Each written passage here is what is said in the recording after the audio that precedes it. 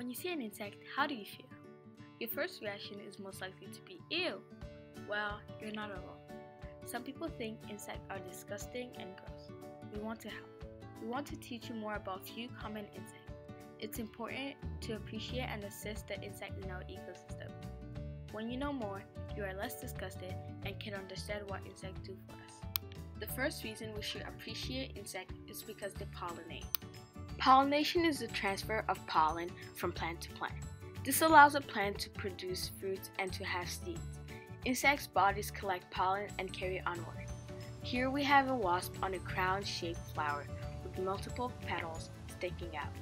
The wasp has to land on top of it and then pushes its head and its two front legs down into the petals to get the nectar. This means that the pollen of the flower will get caught on the insect's head and legs. In contrast, here we have another kind of flower with tiny little flies on it. This is a white flower. It's shaped like a landing pad or sort of like an umbrella. For an insect to get nectar from this flower, it has to walk on top of the flower, therefore, the pollen on the flower will go onto the insect's legs. All in all, we really need insects because we really we depend on them to create our food. Next, let's take a look at some special features of insects. These features make insects so amazing. Every insect has a different life cycle. There are two major types of life cycles, simple and complete. Let's compare them. The simple or incomplete life cycle of the Carolina grasshopper includes three stages, egg, nymph, and adult. The nymph looks like an adult, however, it is much smaller. Isn't it interesting to know that the Carolina grasshopper makes noises by rubbing its legs together? It does this in order to attract mates or protect their territories. The life cycle of the red admiral butterfly is completely different from the Carolina grasshopper because it has four stages egg, larva, pupa, and adult. This means that insects go through a complete metamorphosis. It changes its body from a worm shape into a glorious black and red wings. Isn't it interesting to note that the red admiral butterfly doesn't have a mouth to chew or bite? Instead, they have a long straw-like structure called a proboscis, which allows them to suck up liquids like nectar and juices. Next, let's take a look at the physical adaptation of all insects that have in common.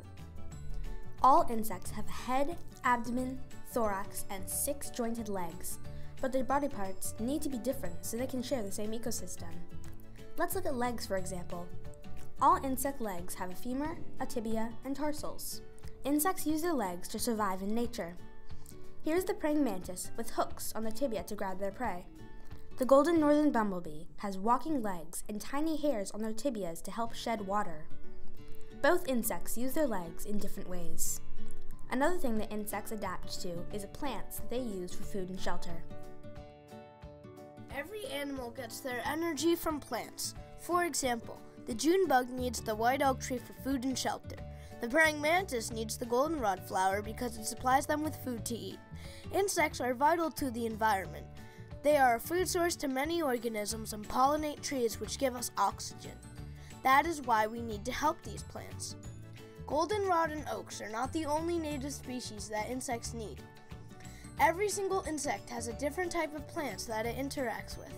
It is important that we know what we are doing so that we can help insects when we live our everyday lives. It is also important that we give back to the native species of the area, keep the native plants that we do have, and stop bringing in invasive plants. Invasive plants cause trouble because they don't give the proper nutrients to insects and spread uncontrollably. The reason that there are invasives is because of us. For example, there's a vine, bittersweet, that was brought over to the United States for porch decorations and ended up spreading wildly. It even grows right up over tall trees and ends up killing them. This just shows how badly things can get out of hand when we don't think about the whole ecosystem and how we are affecting it. Climate change is a change in the distribution of weather patterns.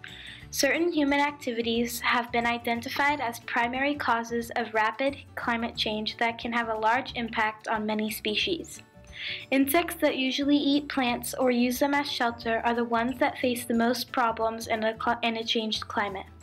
For example, the red admiral butterfly usually flies on warmer days or sunny winter days. However, it migrates in the spring and sometimes again in autumn. When the temperature changes and causes too many rainy days, it can disrupt the butterfly's life cycle. On the other hand, the June bug likes a warmer climate and might gain more habitat if a region that was cold turns warmer. If the June bug population increased, then the balance of the food web could shift and might cause further problems. Climate change is a problem because complex food web means that it is never just one species that is affected. There are some steps we could take to help the insects. Being energy efficient and using fewer fossil fuels. This would reduce the rate of climate change and animals would have more time to adapt. Humans can't survive as the only species on this planet. We need other organisms like trees and plants because they create the ecosystem. Humans also need insects to survive because most of our food depends on the existence of insects. Fortunately, taking care of the ecosystem is not hard. If we start sharing our landscapes with insects that commit to their supporting needs, then we can save many of insect species that still exist. Here are three ways you can help insects in your own backyard. First, don't rake up all the leaves in the fall. Insects can use the leaves for shelter and food. Second, put out clean water in a shallow dish filled with rock, rocks. Insects can perch on the rocks to get a drink. Finally, you can use beneficial insects for pest control. Avoid using pesticides as they are deadly to more species than the one you are trying to remove.